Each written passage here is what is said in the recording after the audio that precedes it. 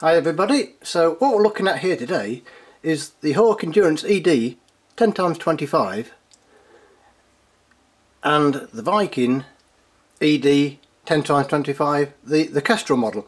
So which is better and which should you go for? Well to be honest with you, it's pretty much a photo finish regards optics. Perhaps the Viking gives a slightly brighter image. But does it? Is that just my head telling me it should be brighter because it's dielectric coated prisms versus silver coated?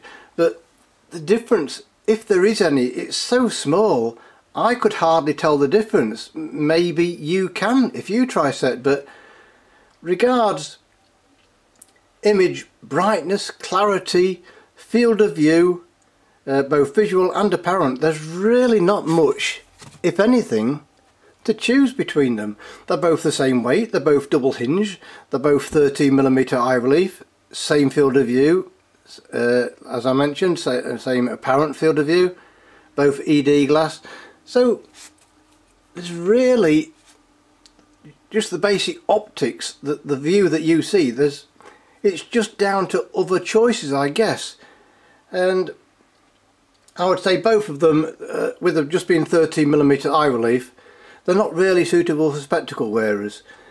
And so it comes down to other things that may be of more importance to you, maybe not important to, to me, but to you, you, might think, yeah, they're the ones to go for.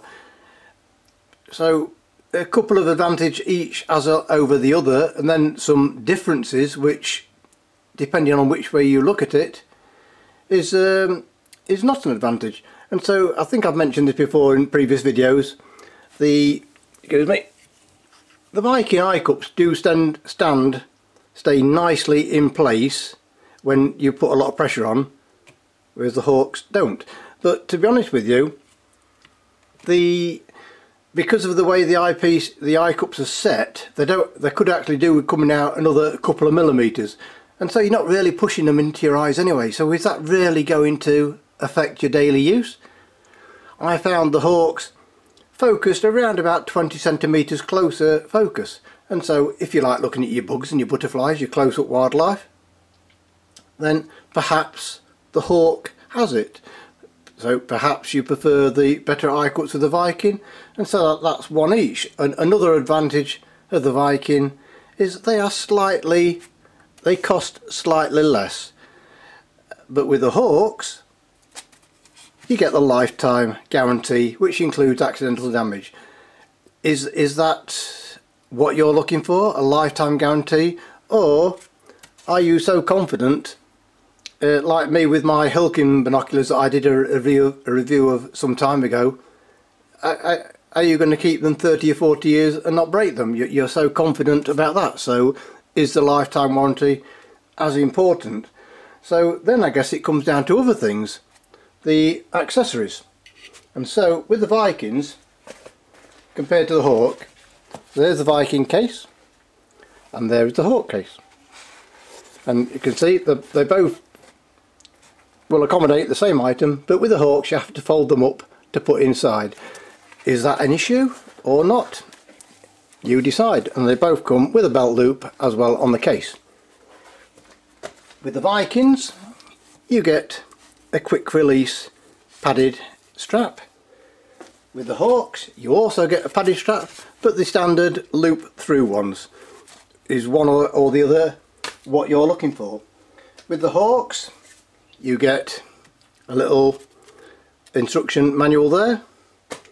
Believe me there is a cleaning cloth inside there and you also get a little pouch inside the binoculars depending on which, uh, um, which batch you bought from. Like uh, there might be some, with some Hawke products there might be some old stock that don't have these yet but with these they do have this little pouch inside. So that's it really. That's a quick look at the the Viking Kestrel ED 10x25 versus the Hawke Endurance ED 10x25 so it's it's pretty much level pegging regards optics whether there is them slight differences or whether that's just me making up my mind before I've looked through them. Whereas you know just in case you get a slightly brighter image with the Vikings slightly less chromatic aberration with the Hawkes uh, off centre about 30% out. But again the differences are so small. So it's best really uh, if you pass in pop by our optics weekends try, try a set for yourself and uh, you decide, not me. And as always, uh, both products are available to purchase in the link in the description below. And as always, if it's the first time or you're a regular viewer to this channel, please give us a thumbs up, hit that subscribe button, and I shall see you next time.